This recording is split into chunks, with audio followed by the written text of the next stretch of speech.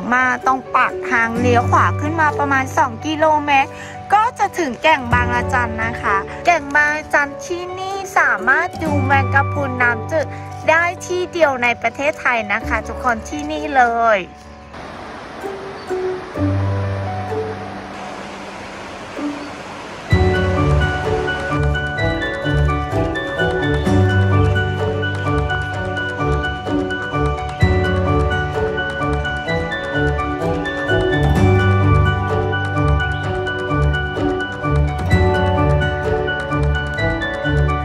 จ้าแมงกะพรุนตัวน้อยเหล่านี้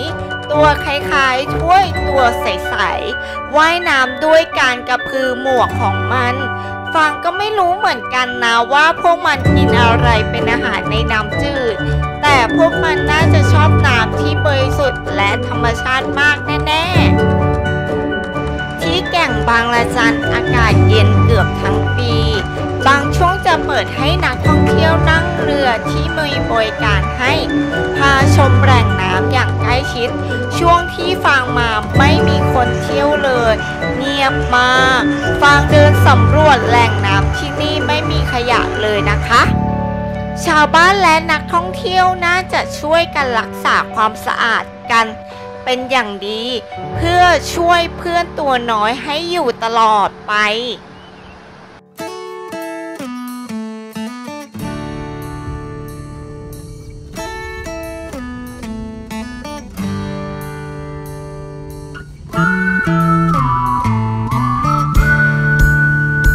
ตอนนี้ป้ากำลังจะเดินทางไปที่กังหันลมนะคะผ่านหมู่บ้าน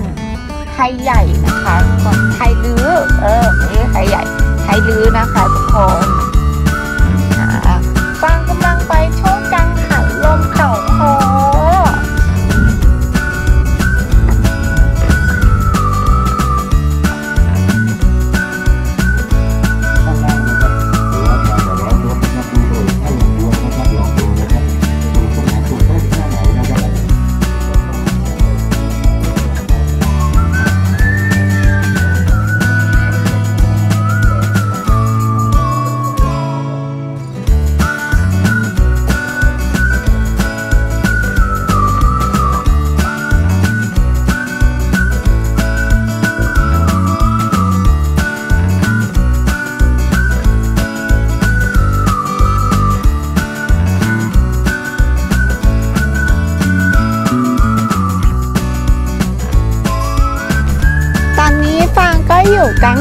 ลมนะคะกังหันลมเขาคอนะคะ ทุกคนที่นี่จะเสียค่าเข้าคนละ 20 บาทนะและหลังฟางก็จะเป็นกังหันลมขนาดใหญ่เลยโอ้ยเข่าคอเวลานี้เย็นสบายมากเลยทุกคนขนาดเวลาประมาณจะ10โมงแล้วอะคือแบบอากาศดีเวอร์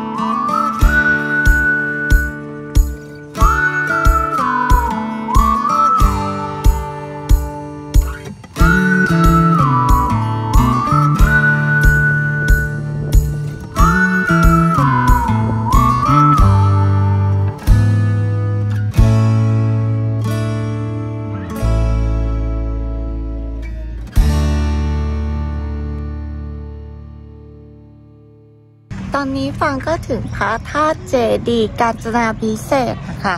อำเภอเขาคอนะคะ อีกหนึ่งจุดเช็คอิน คนที่มาเขาคอต้องมาไหว้ที่นี่เลยค่ะ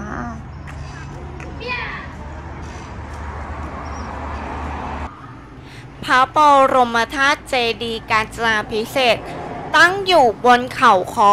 ริมทางหลวงหมายเลข 2196 อยู่ห่างจากที่ว่าการอำเภอเขาคอไปทางทิศเหนือประมาณ 2 กิโลเมตร จะเห็นพระบรมธาตุเจดีย์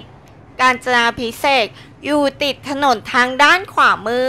เป็นเจดีย์ที่มีสถาปัตยกรรม ผสมผสานทั้งแบบสุโขทัยอยุธยาและรัตนโกสินทร์ภายในประดิษฐานพระ พุทธรูปให้ประชาชนได้สักการะบูชา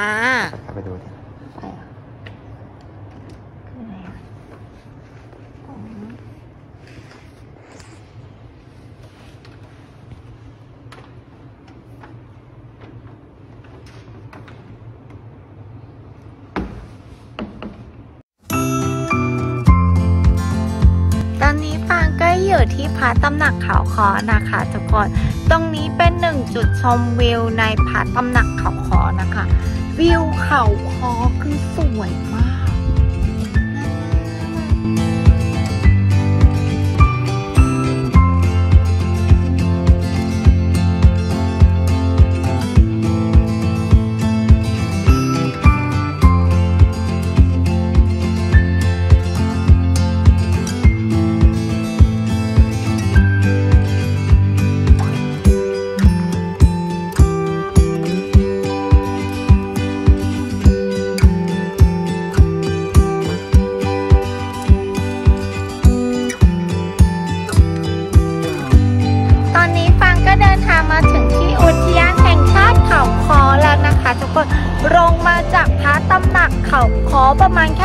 150 เมตรก็ถึงแล้ว อุทยานจะอยู่ทางด้านขวามือนะ เดี๋ยววันนี้ฟางจะมาเต็มที่นี่เป็นที่ต่อไปนะคะ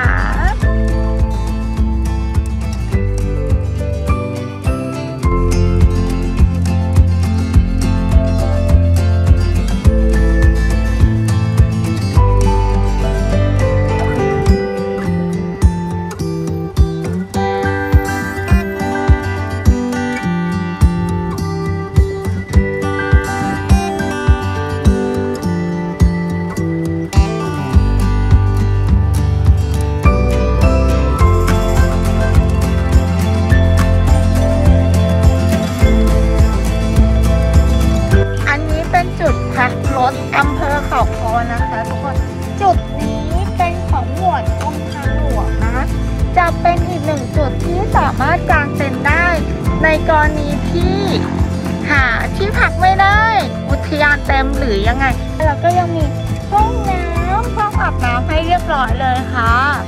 ฟังได้ตามปั๊มของอุทยานตาดหมอกมาเป็นที่เรียบร้อยแล้วนะคะ ที่ที่ฟังเดินนอนในคืนนี้ก็คืออุทยานแห่งชาติน้ำหนาว ตอนแรกอะฟังจะกกะเข้าไปดูร้านกลางเต็นท์ที่อุทยานตาดหมอกว่าเป็นยังไง แต่เจ้าหน้าที่ไม่ให้เข้าบอกว่าต้องเสียค่าเข้าก่อน ถึงจะเข้าไปดูได้ว่าร้านข้างในเป็นยังไงฟางก็เลยอดดูเลยค่ะทุกคนเดี๋ยวฟางจะมุ่งหน้าไปที่อุทยานแห่งชาติน้ำหนาวต่อเลยนะคะอุทยานแห่งชาติน้ำหนาวฟางเคยมาแล้วครั้งหนึ่งฟางว่าหูต้องหนาวอะทุกคน เขาขอว่าหนาวแล้วน้ำหนาวน่าจะหนาวกว่าทุกคน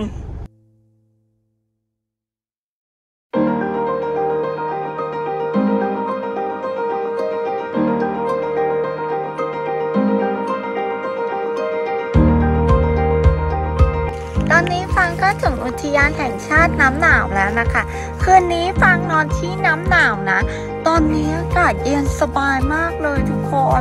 เดี๋ยวฟางจะไปดูพระอาทิตย์ตกที่เขาเรียกว่าอะไรอะผาถ้ำหงอะไรเนี่ย ทุกคนที่ฟางผ่านมาแล้วก่อนถึงอุทยานน้ำหนาวนะคะ ตอนนี้ฟางกำลังจะเดินขึ้นไปชมพระอาทิตย์ตกที่จุดชมวิวถ้ำผาหงนะคะ จากทางด้านล่างมันเขียนว่า 259 ขั้น ก็ถึง ไปกันฟางขอพักกึ่งครึ่งทางกันเหนื่อยมากมันเป็นบันไดเดินขึ้นเขามาค่อนข้างที่จะก้าวสูงอยู่นะฟังถึงจุดชมพระอาทิตย์ตกถ้ำผาหงแล้วนะคะทุกคน ขึ้นมาอย่างเหนื่อยเลย แต่ว่าข้างหน้าเหมือนมีทัศนศึกษาของเด็กๆอยู่ด้านบนด้วย ครูพามาเด็ก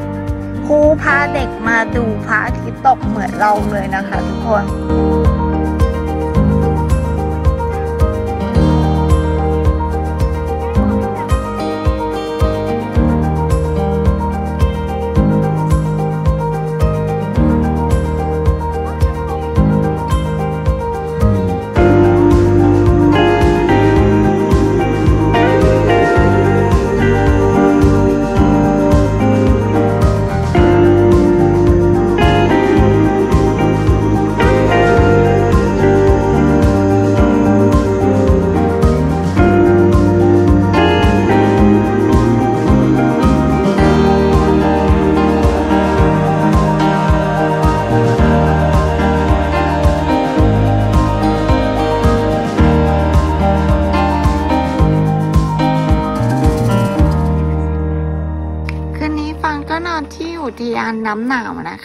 คะทุกคนอันนี้เป็นมือเย็นของฟังฟังทอดปลาจากที่ฟังซื้อมาจาก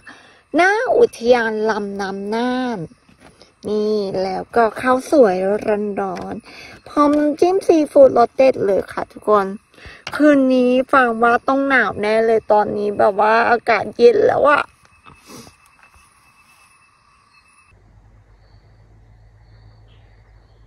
ตอนนี้ก็เวลาประมาณหกโมงแล้วนะคะ ทุกคนเดี๋ยวฟังพาไปดูจุดที่พระอาทิตย์ขึ้นกันนะคะ ตอนนี้อุณหภูมิที่น้ำหนาวก็คือ 15 องศานะคะ ทุกคนเวลา6โมง32 นาทีนะ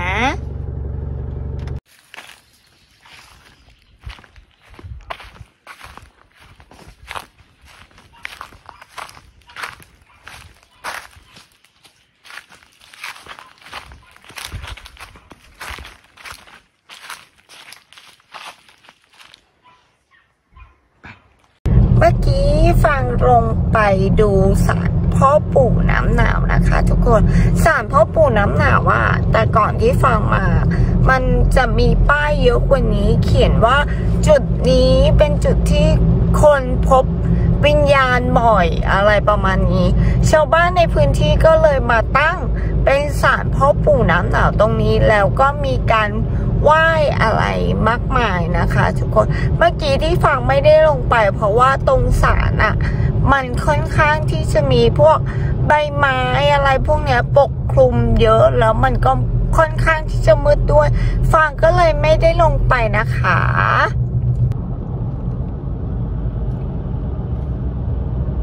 ถึงจุดชมวิวพระอาทิตย์ขึ้นภูคอแล้วนะคะทุกคนปะขึ้นไปดูกันดีกว่าค่ะ ตอนนี้ฟางก็ขึ้นมาถึงจุดชมพระอาทิตย์ขึ้นภูคอนะคะทุกคน ในมือถือฟางอะ ในโทรศัพท์มันเขียนว่าพระอาทิตย์จะขึ้นโดยประมาณ6โมง43 แต่ตอนนี้จะ7โมงแล้วว่าพระอาทิตย์ยังไม่ขึ้นเลยค่ะ ทุกคน นั่งรอต่อไปนะคะ นี่ ตัวป่วนของฟาง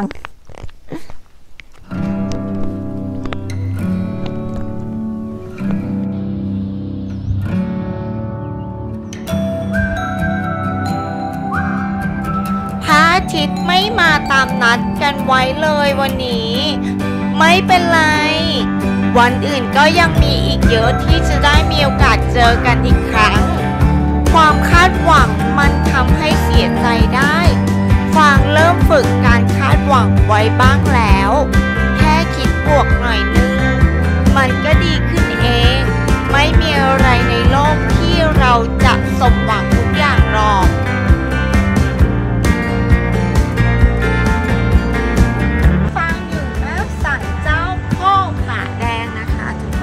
รผ่านไปผ่านมาก็จะมักจะบีบแต่ให้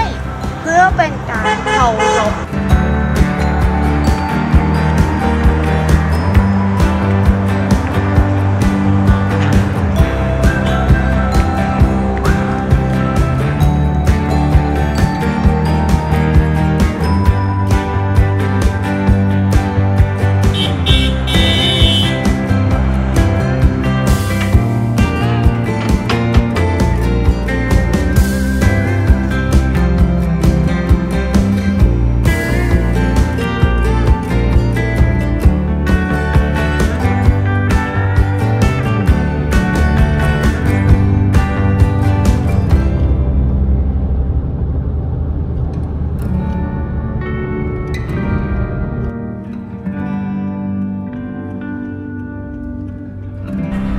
ฟังแวะมาไหว้พระวัดพระพุทธฉายนะคะ ทุกคนวัดพระพุทธฉายอะจะอยู่ก่อน ถึงทางขึ้นอุทยานน้ำตกสามล้านเมื่อกี้ฟังไปปั๊มที่อุทยานน้ำตกสามล้านมาแล้ว อุทยานน้ำตกสามล้านเขาบอกว่าเดี๋ยวนี้มันไม่ค่อยมีน้ำตกแล้ว มันจะเป็นอะแอ่งเก็บน้ำประมาณนี้นะคะทุกคน ฟังเห็นร้านผัดไทยสิบบาทฟังกะจะแวะซื้อไปกินวันร้อนสักหน่อยอะเอาอย่างละสองใช่ใช่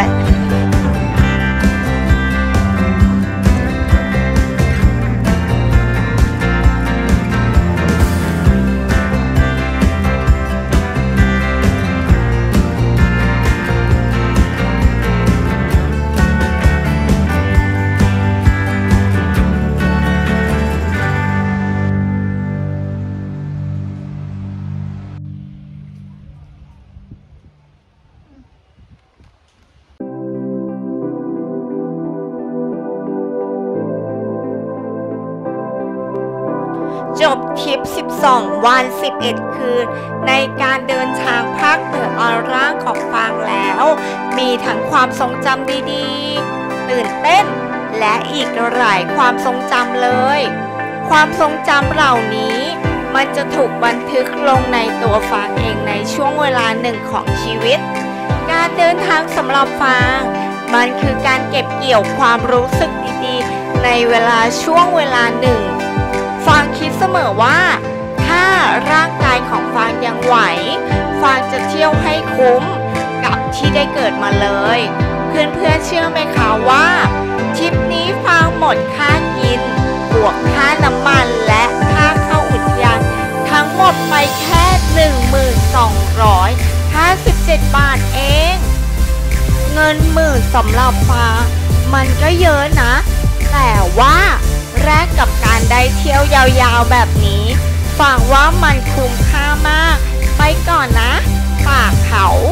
น้ำตก แล้วฟางจะกลับมาหาใหม่นะคะ